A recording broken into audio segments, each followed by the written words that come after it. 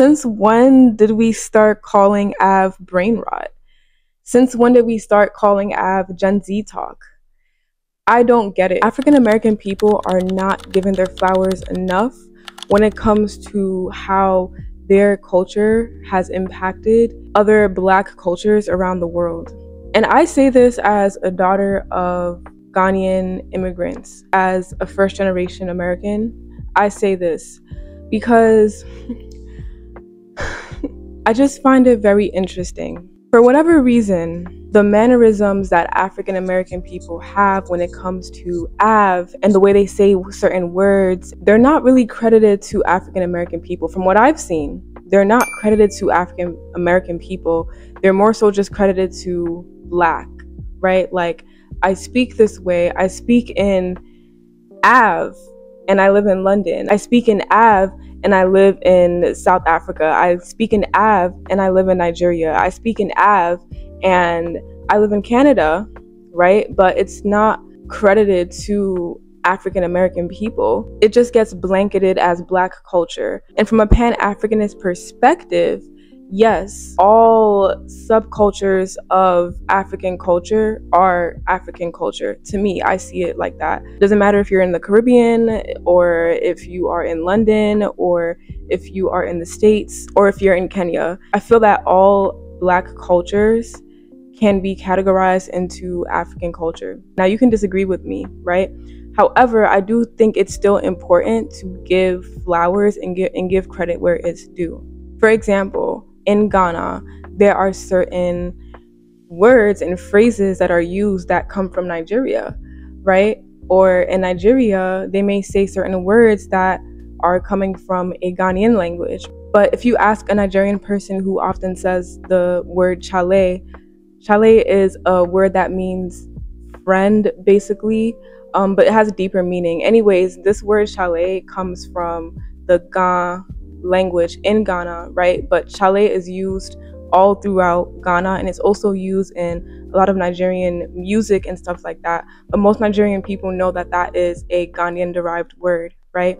Same thing with like Jamaican patois or Creole that is spoken throughout the Caribbean. If you're speaking Afro Caribbean Creole, whatever that looks like, most people know that, yeah, that is coming from the Caribbean. But for some reason, when it comes to AAVE, people don't see it as AAVE, they see it as Gen Z talk, right? Which is literally not even only when it comes to Black people not acknowledging that AAVE comes from America, comes from African descendant people in America, but it's also used a lot in other cultures, right?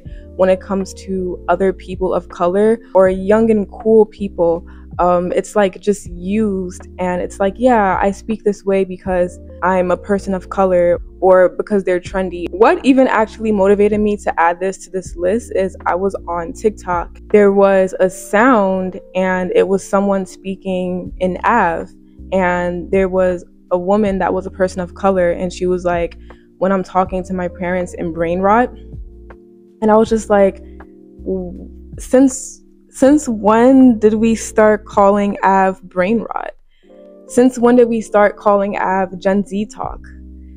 I don't get it, but I just feel like African American people are not given their flowers enough. It doesn't matter wherever you go in this world, you're going to find black people, you're going to find African descendant people speaking in AAVE or having some type of mannerism that you will generally see in an African American community or an African American home.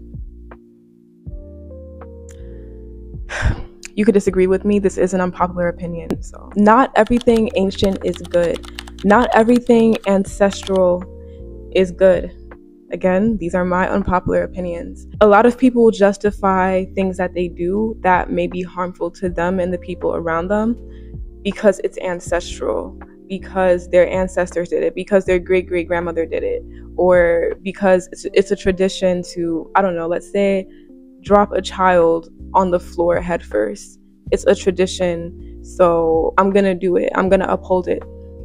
Does this feel good to you? Maybe it's just how I think. Like, I honor my culture, but like I have to ask myself if it feels good to me. Like I'm not just to do something that I've been told that my ancestors used to do just because they used to do it. I may try it and if it doesn't feel good to me, I'm not going to do it. We tend to forget that colonization was a thing. Colonization did not only happen in Africa, it happened in a whole bunch of other countries, even within Europe. People tend to forget that a lot of cultures have been tainted with other people's ideas. Let's just say, for example, your great great grandmother used skin lightening cream, your grandmother used skin lightening cream. Um, your mother used skin lightening cream. So now you're gonna use it because that's just what the women in your family do. Does that really feel good to you? Is that even healthy for you? You don't have to do something just because your ancestors did it, right? Because we have to then ask ourselves, where does that come from?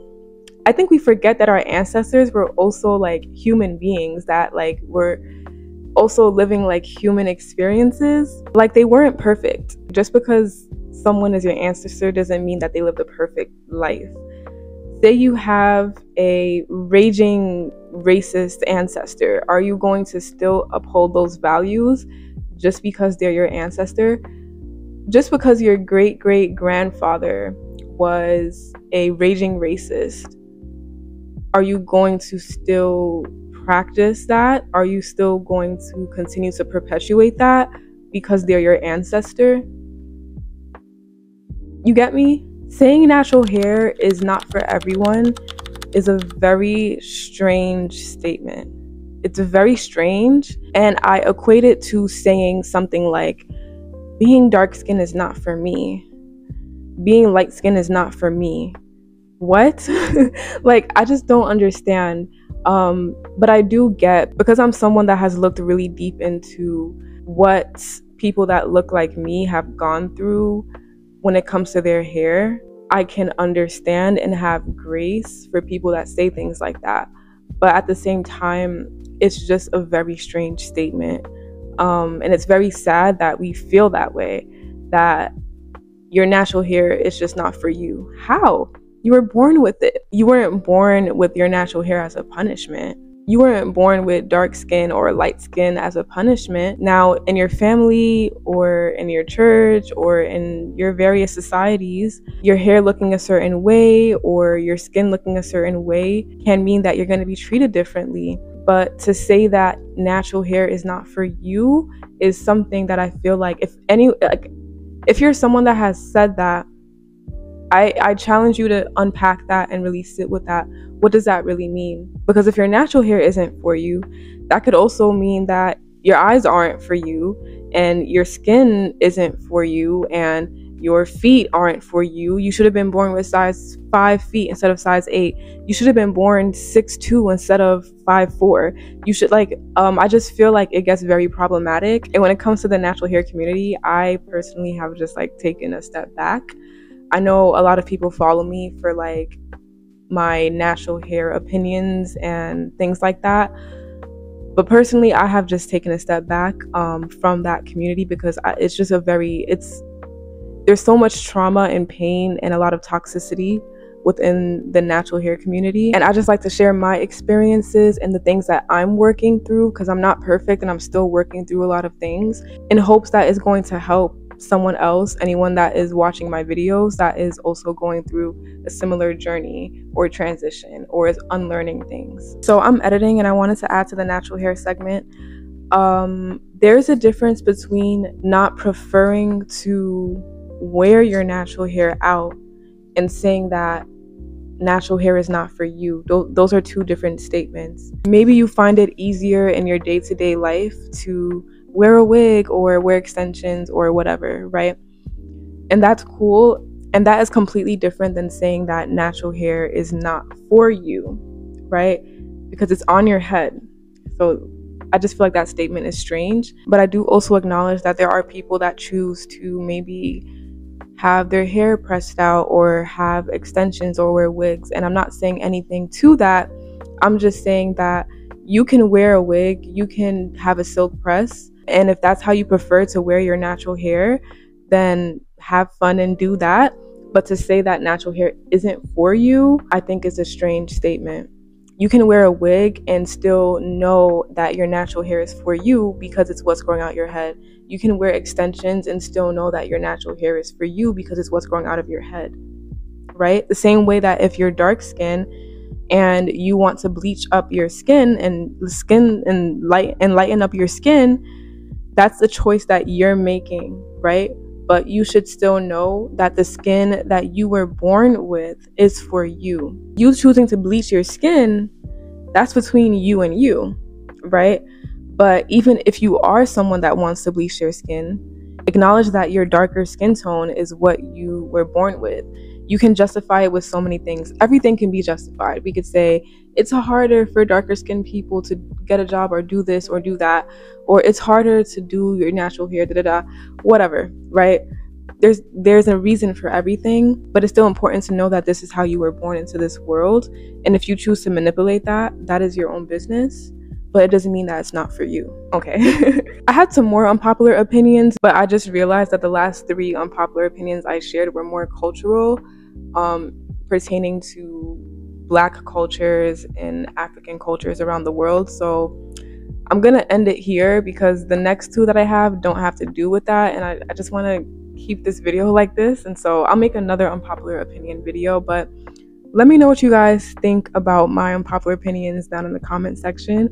I love making these videos because I feel like it really creates space for people to say the thing that they feel like they're not supposed to say. Because really and truthfully, a lot of us have these unpopular opinions. We just feel like if we were to share them out loud, we would be ostracized and just treated badly for being honest about how we feel. So I will see you guys in the next video, of course.